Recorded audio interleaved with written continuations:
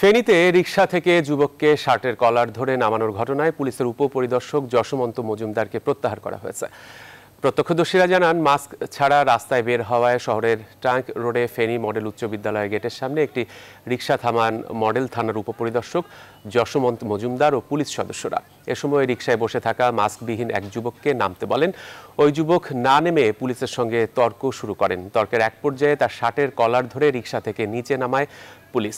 রোববার দুপুরে ফেনী মডেল উচ্চ বিদ্যালয় গেটের সামনে এই ধস্তাধস্তির ঘটনা ভিডিও ফেসবুকে ভাইরাল হয় পরে এ ঘটনায় সোমবার রাতে যশোমন্ত মজুমদারকে প্রত্যাহার করে পুলিশ লাইনে সংযুক্ত করা হয়েছে একই সঙ্গে ঘটনার সময় তার সঙ্গে দায়িত্ব পালন করা অপর দুই পুলিশ সদস্যের কাছে জবাব চাওয়া হয়েছে